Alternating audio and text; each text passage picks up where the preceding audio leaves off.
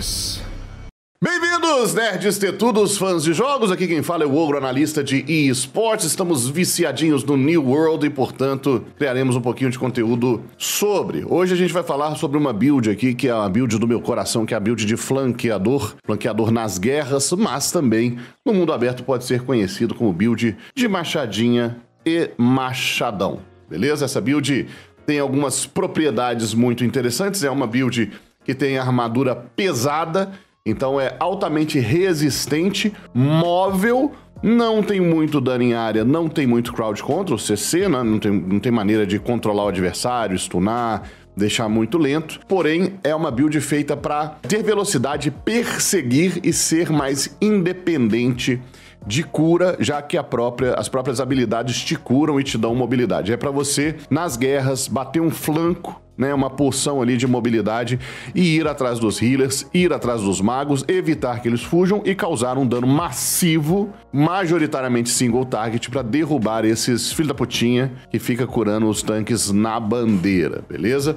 Então a gente fala um pouquinho aqui para vocês da ideia por trás, né? Armadura pesada, sobre os atributos. Basicamente a gente usa 50 de constituição para a gente ter aqui uma porção 20% mais potente, também um pouquinho mais de life.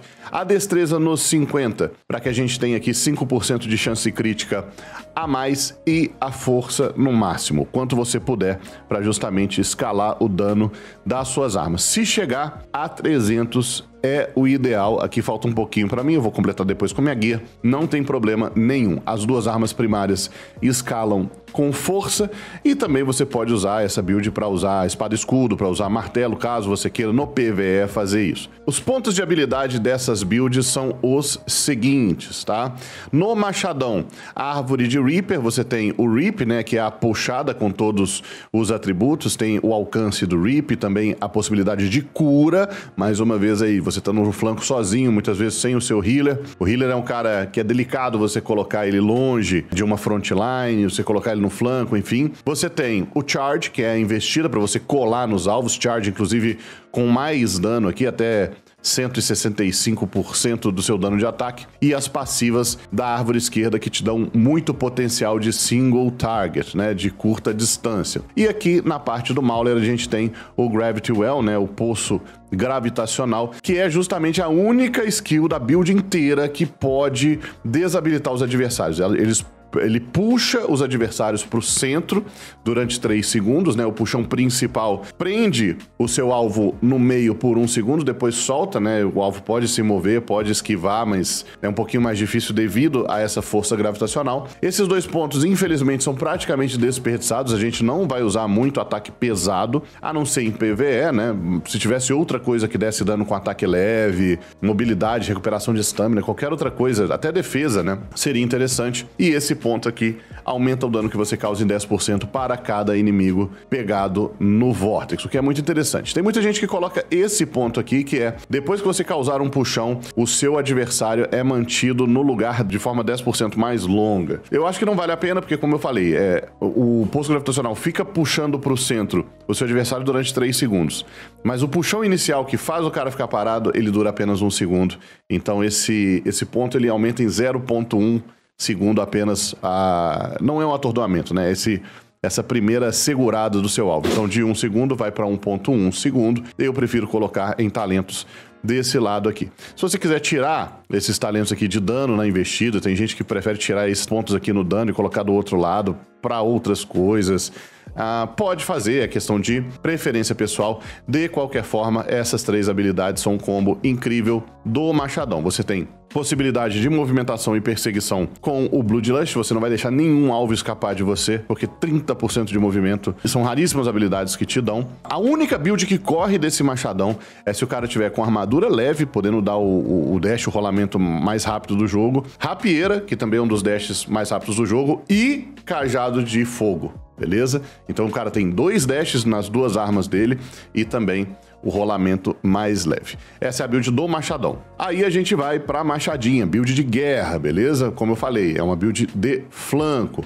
Então, todos os, os pontos de passiva que adicionam dano à machadona, nós temos o Feral Rush com o Crippling Strikes para manter o alvo no lugar caso você dê uma pancada nas costas. Isso aqui é excelente, isso aqui é praticamente um kill garantido, tá? Dois segundos mantido no lugar. Não é uma, não é considerado, vamos dizer assim, um crowd control, né? Um controle de grupo, porque é um é apenas um root em um alvo, mas é uma das poucas coisas que vai evitar o seu alvo de ficar correndo loucamente. O Berserk, com todos os talentos maravilhosos, até o final do Defy Death, que te deixa imortal por 3 segundos, esse site está desatualizado, está escrito ali 4, mas 3 segundos uma vez que você toma um dano letal, e isso te dá ainda mais independência do seu time, né? Vale lembrar que o Berserk fica te curando a cada 4 segundos ou 3 segundos, se eu não me engano, uma porção do seu life, então mais cura. É full mobilidade, sobrevivência, armadura pesada com resistência à magia.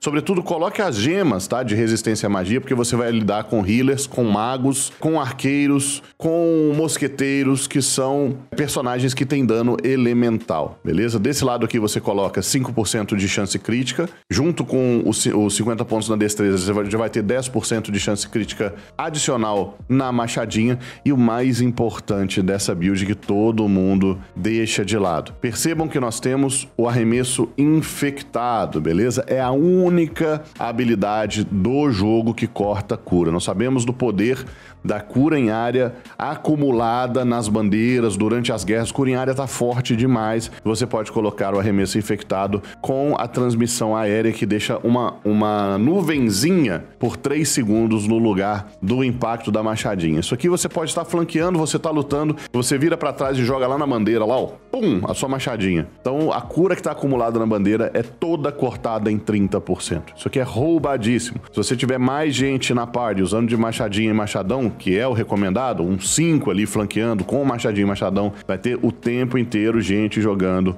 o arremesso infectado na bandeira e cortando a cura dos tanques adversários, né? Ou jogando no alvo, num healer que a gente esteja perseguindo e cortando a cura dele em 30%.